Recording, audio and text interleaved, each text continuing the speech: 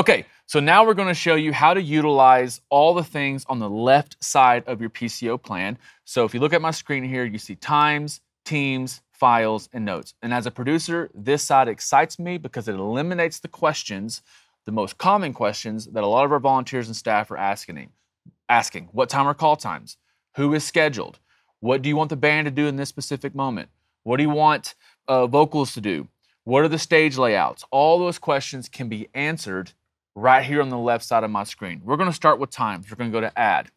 Uh, this service is on a Tuesday, so this may be a special event. It's at 9 a.m. to 10 a.m. I'm going to hit vocal reminders. I'm not going to do reminders in all this, but feel free to do reminders all down through here. One day out, two days out, 30 minutes forward, whatever that case is, and I'm going to hit save. It's going to dump that right here. Service times are at 9 a.m. I'm going to hit another one. I'm going to hit add. Rehearsals, let's say all team rehearsal is at, we're going to go to the Monday before, and we're going to call that a 5 o'clock rehearsal. So we're going to make sure we go PM here, and then we're going to say it's going to be done at 7 p.m. It's going to tell you that you're not in PM. And then uh, assign teams, we're not going to do that quite yet, um, but because I want to show you how to build teams. But you would go here and you would click all the teams that you want utilized in this. We'll hit bands for now. We'll hit one day before, and then we'll hit save. You're going to see it's going to throw it over here to rehearsal times. And then now we're going to hit add again. Call times are important. Anything that you can put in as far as times go, utilize this. I'm going to give you two examples. One example, I'm going to say call time. Now, this can be call times for band, call time for vocals, call times for production team. For now, we're going to do call time all teams. Okay? I want people there two hours before service. So we're going to do 7 a.m. I like to do this, um, these call times. I want to see when they're really expected to be in the building. So 7, 7 a.m. in the building, be in ready to go.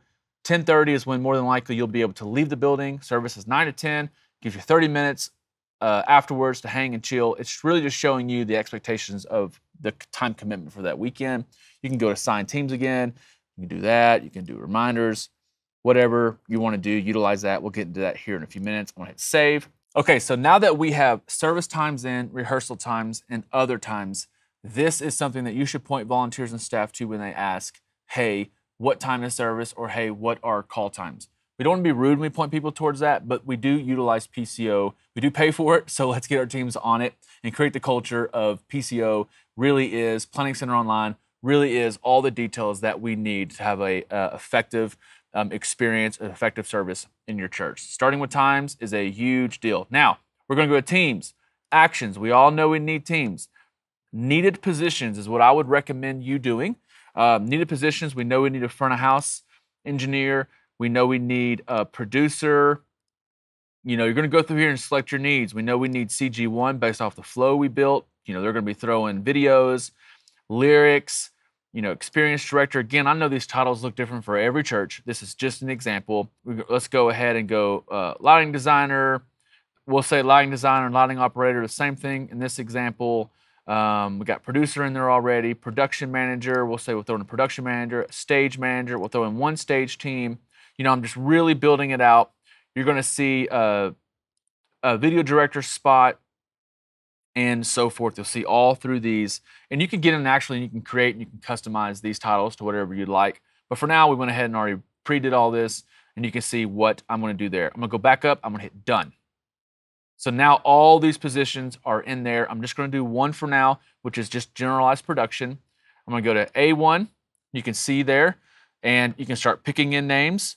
You can dump those names in, etc. And that's how you would schedule a team on this side it's important that you schedule everybody that's going to be taking place in your planning center online experience. Why is it important? For many reasons. One big reason, as a producer, as a staff member, as someone who's been placed in charge of the experience, it's good to know who is all going to be there that weekend. So for me as a pastoral um, title or me as a director of the experience, for me to get on the night before and say, oh, that's cool, Phil's on this weekend. Or hey, that's cool, um, so and so's on. It's just good for me to see that. In addition, though, there are also other teams that utilize Planning Center, like catering. how do I know how to prepare catering if I don't know who is going to be there on the weekend? So for someone like catering, they can get on and see, okay, well, we have 14 people scheduled in production, we have seven people scheduled in vocals or and band, and so forth. So then we can prepare. It's just a great tool. Make sure you utilize that. That is scheduling. I know most of us do, but just a reminder on why it's important to make sure everyone is scheduled and effective in those regards. Another reason why um, it's important to make sure everyone is scheduled. As an example, I know at MXU we're always encouraging our audio engineers and key roles on the weekend to know the names. It is not a positive culture for an audio engineer to say, hey, guitar player, can I check your guitar, please? But when the audio engineer can look at a PCO, print it off in front of them, and say, hey, Greg, good to see you this morning. Go ahead and check for me. That goes a long ways having that as a reference and PCO is only going to increase culture in those ways of people knowing names. Another reason why we want to utilize and schedule everyone on the weekend in those uh, slots. And also, when you hit emails out, it handles PCO handles all the emails and everything you need to make sure communication is key for those scheduled positions on teams. Okay, files. Files is a cool uh, feature here. Files is going to be something that you can drop in stage layouts, you can drop in videos. So, example, as a producer, worship pastor, creative director, uh, production associate, A1, it doesn't matter your position. I can shoot a video on my iPhone and I can say, hey guys, thanks for uh, uh, serving this weekend. I just want to give you 45 seconds of what this weekend is about. Pastor's going to be talking about A, you know, we're doing baptisms at the end. This can be a vision piece. You can drop that video by dropping it in the files here, and it's something that your teams can watch. Right below that is notes. You can see over here in categories, you can see right here during the prayer, campus pastors on stage, we're handheld five, house lights are at 25%. But right here it says band, band is grooving. So as a someone in the band, I'm going to be asking, what am I grooving? What are we playing? What are we doing? You'll see it says see notes. As a musician, I can go down to notes. I can select notes. For now, it's not in there, but we'll hit add and it can say band, and it can say uh, we are playing good grace bridge, no vocals. Hit save. And so now when I see C notes and band grooves for prayer, it says we are playing good grace bridge, no vocals. One thing I left out, one small detail to know during prayer right? We want to just utilize our notes, utilize PCO to the best we can to eliminate questions, to make sure our team is well resourced and they are ready to have an effective weekend based off what you've done during the week in Planning Center. So, again, there's how you would utilize all four of those things on the side of PCO times, teams, files, and notes.